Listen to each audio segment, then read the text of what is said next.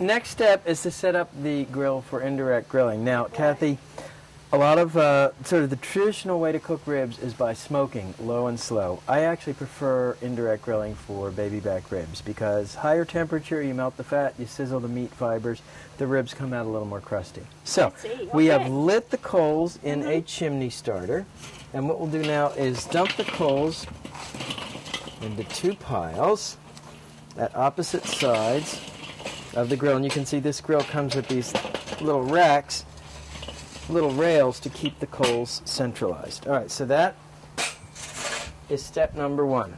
Okay. Step number two is to place a foil drip pan in the center. Step uh-huh. number three is to find your grow grate. Where's your grow grate? Oh, okay. Now, right. Take a look, and you notice by using this rib rack, we are able to crowd. We could actually cook four racks of ribs in the space normally you could only get two if you laid them mm-hmm. flat. Mm-hmm. So that's the next step. Final step hickory or other hardwood chips which have been soaked in water for about an hour and drained. And we'll put the wood chips on the coals. And what the wood chips will do is generate that old-fashioned Lovely. Hickory smoked authentic barbecue flavor. Now we're going to have enough briquettes in there too. We are going to have enough briquettes because these cook very quickly, and one chimney's worth of briquettes are usually enough to cook up to four racks of ribs. Cooking time on this and between an hour and an hour and a quarter, unless you're at a high altitude like I was over the weekend in Aspen, Colorado, and then it takes a little longer. Okay, and you can see and smell the smoke is coming up already. Fantastic. All right. Great.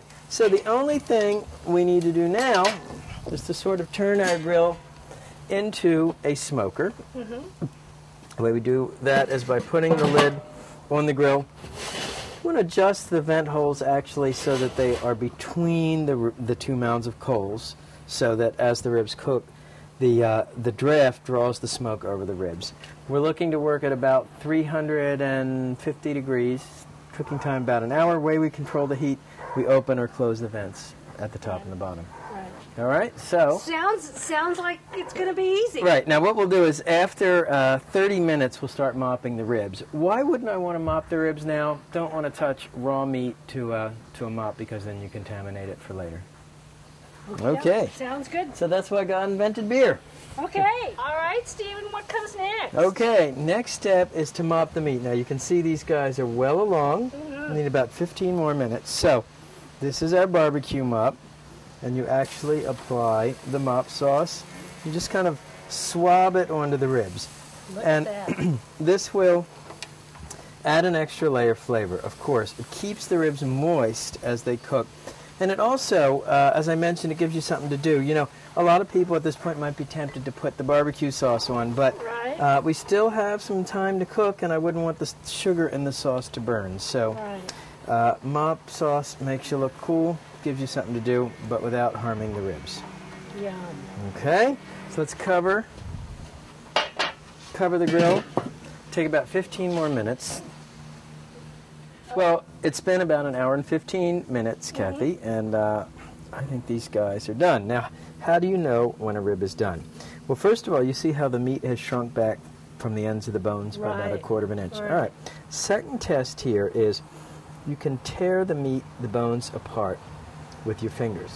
Okay, they have a little resistance. Now, very important point: a rib should not be fall off the bone tender. Okay, the meat should not fall off the bone. If it does, chances are it was boiled. That is a heresy in my barbecue religion. Got it. Okay, now personally, I would just pull the ribs off this way, serve them dry with the sauce on the side. Uh-huh. Okay, we can do that.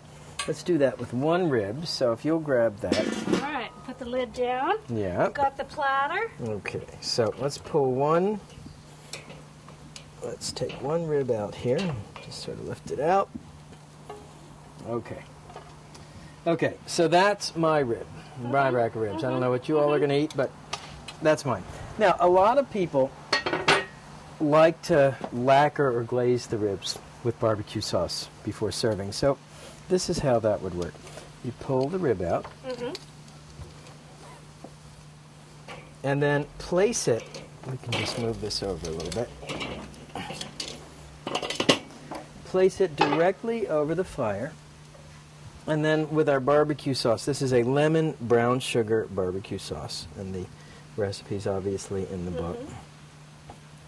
Mm-hmm. Mm. All right, so we base the top with lemon brown sugar barbecue sauce. No worry about cross contamination here because the meat's completely cooked. Right. And then just, you see, we've moved from indirect grilling to direct grilling. We're just going to sizzle the sauce directly over the fire.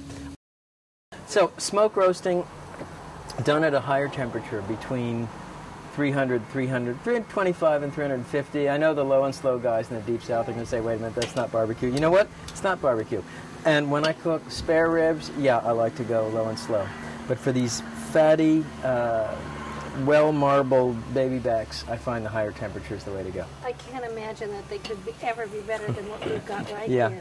Yeah, that's you see how look see how you just kind of it's almost like the old masters used to kind of put put a layer of shellac. Oh, it's just, they're gorgeous. I can hardly wait. Okay.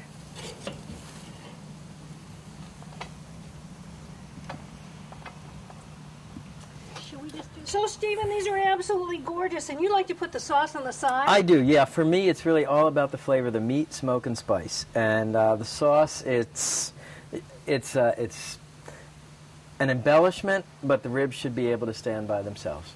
Thank you so much. Thank you. I'll never do ribs the same again. Thanks.